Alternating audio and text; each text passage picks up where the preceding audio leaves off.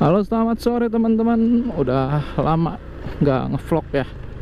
Pakai motor terutama apalagi ngevlog pakai kamera di rumah. Kebetulan alat-alatnya sedang banyak sibuk yang dipakai buat keperluan lain jadi jarang ya jarang ngevlog. Apalagi kalau buat ngemoto vlog video-video saya yang kemarin itu kebanyakan semua pakai handphone. Jadi secara view secara kualitas gambar kemungkinan tidak baik. Dan secara area pengambilan video pasti kalah dengan action cam. Nah kebetulan saya sekarang ini udah beli action cam dari GoPro. Serinya GoPro Hero 4 nanti saya bahas di video bagaimana uh, impresi dan pengalaman pertama memakai action cam ini. Nah ini pengalaman pertama. Kebetulan saya lagi cek soundnya dulu. Sound yang ada di helm tuh masuk atau enggak ke kamera dan ingin tahu kualitas soundnya seperti apa dan seperti bagaimana kualitas soundnya. Makanya ini vlognya nggak jauh-jauh aja teman-teman. Jadi cuma muter-muter sekitar perumahan. Ya sampai menikmati suasana sore lah di perumahan. Sekalian cek kualitas video dan kualitas audio yang ditangkap oleh GoPro ini. Dan GoPro ini saya dapat dengan harga kalau dibilang murah atau mahal tuh relatif ya teman-teman. Cuma dengan harga yang cukup menurut saya cukup terjangkau lah. Jadi pasaran sekitar satu setengah 1,5 sampai 1,7 juta. Untuk kondisinya yang gak ada yang baru semua pasti saya akan ke GoPro 4 ini saya dapat di angka 1,3 1,3 kondisinya sudah full set. Jadi ya udah dengan bracket sudah dengan mic terutama mic ya teman-teman.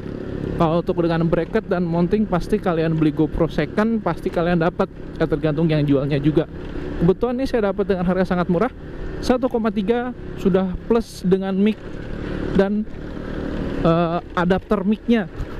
Nah untuk micnya GoPro ini ada dua tipe teman-teman. Ada tipe yang TRS itu colokan seperti colokan mic di handphone ada juga yang memang colokannya itu Type C atau Type USB yang memang diperuntukkan untuk GoPro. Nah kebetulan saya langsung dapat dengan si konverternya untuk yang eh, colokan ke handphone dan mic dengan colokan yang langsung connect ke GoPro. Untuk harga di pasarannya micnya ini sekitar 40 sampai 50 ribu. Berarti cukup lumayan dong hemat 40 50 ribu lah. Dan untuk konverternya ini kebetulan konverternya cukup langka teman-teman. Saya cek kemarin di onlinean dan cek di video-video di YouTube ternyata ada yang jual konverternya cuma sekitar 40.000 tapi pas dicek itu nggak connect. Nah kalau yang connect itu ada merek tertentu dan itu cukup langka. Harganya sekitar saya cek kemarin 100.000 dan cagarnya cukup lumayan ya teman-teman nah kebetulan adapternya ini bisa di, bisa dikoneksi juga ke mic yang bertipe yang apa ya? Saya punya dua mic mic Boya MM1 itu tipe yang shotgun alias mic yang ada bulu-bulunya. Ya cukup lumayan berarti ngehemat hemat biaya. Jadi kalau misalkan kalian nyari yang dengan seharga saya ya berarti ya untung-untungan. Saya ya dapat 1,3 juga untung-untungan. Nyarinya hampir berapa bulan nih budgetnya udah ada cuma saya nyarinya mikir mikir banyak mikir yang maju mundur maju mundur. Akhirnya ya udahlah daripada beli merek yang lain dengan harga yang sama dengan kondisi baru. Oh iya ada juga ada, ada juga beberapa merek lain. Dengan uang 1,3 atau satu setengah juta kalian sudah dapat go sudah dapat action cam dengan kondisi yang baru. Tapi ya kualitasnya kalah ya teman-teman. Kalau GoPro ya jelas ya kalau action cam paling atas ya GoPro mereknya GoPro. Yang kedua ya mungkin sekarang udah ada DJI, DJI Osmo dan action cam yang lainnya. Tapi secara kualitas gambar udah jelas GoPro ada di paling atas. Ini kalau GoPro 4 ini GoPro pertama yang sudah ada layar LCD touchscreen di belakangnya. Untuk GoPro Hero 4 ini ada dua tipe teman-teman. Ada yang tipe black dan tipe silver. Nah kalau kalian beli yang tipe black itu nggak ada belum ada tipe belum ada LCD LCD belum ada layarnya di belakang dan kalian harus beli lagi.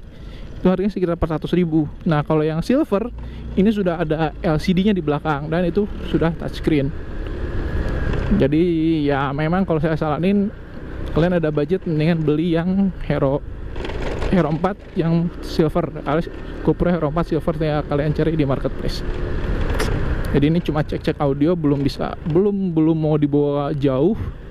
Ini ya muter-muter rumahan aja. Mumpung masih sore teman-teman. Dan segitu aja ya teman-teman. Videonya ini cuma video cek GoPro secara oh, secara secara kualitas video dan secara kualitas audio.